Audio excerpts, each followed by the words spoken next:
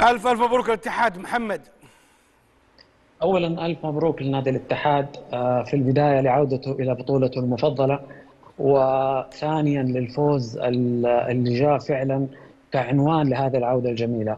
الاتحاد فاز آه، كان الفريق الأجمد طبعا مجهول بالنسبة لنادي الاتحاد وللوسط الرياضي ونادي الاتحاد لعب بتحفظ دفاعي وفي نفس الوقت بحذر و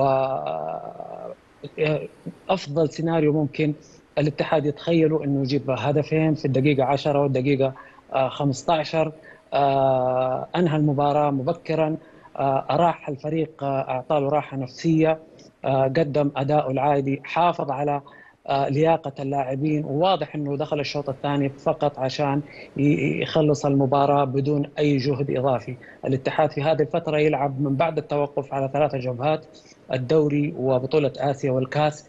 عنده إصابات طبعا متعددة في الفريق، آخر إصابة كانت في ليلة المباراة النجم الكبير بنزيما ووجوده كان ممكن يشارك في هذه المباراة لولا اصابته اللي غاب بسبب بسببها في آخر مباراتين. وكمان الغياب الأكبر واللي الاتحاد يفتقده كثير اللي هو كورنادو لكن الموجودين والجودة العالية في نادي الاتحاد حتى ولو كان الفريق يفتقد إلى بعض النجوم إلا أنه الجودة اللي موجودة في نادي الاتحاد كانت كافية إنه ينهي المباراة وبسهولة. الفريق أجمك طبعا ما ظهر ما كان فريق في حالته المعتادة. مرحلة جس النبض ضاعت من الفريق بسبب آه، تبكير الاتحاد في التسجيل. الحالة الذهنية عند نادي الاتحاد كان في تركيز عالي جدا من النجوم.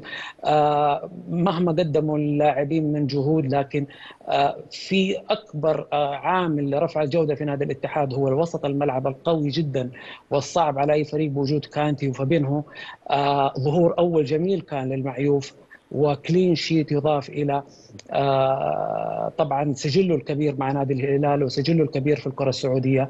آه، الجميل في هذه العودة إنها جاءت كمان في ملعب الأمير عبد الله الفيصل رحمه الله.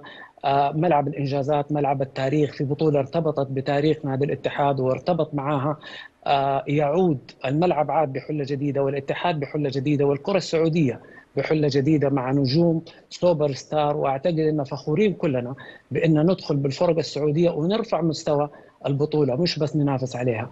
السعودي واللي شفناه طبعا استقبال نادي النصر وال والحالة اللي شفناها اللي تصدرت الأخبار بوجود رونالدو في إيران والأسماء الكبيرة اللي دخل بها نادي الهلال والاتحاد آه، شيء كبير جدا و يعني دعامة كبيرة للكرة الآسيوية طيب. ننتظر أن يرتفع المستوى في كامل البطولة ويكون المنجز السعودي بإذن الله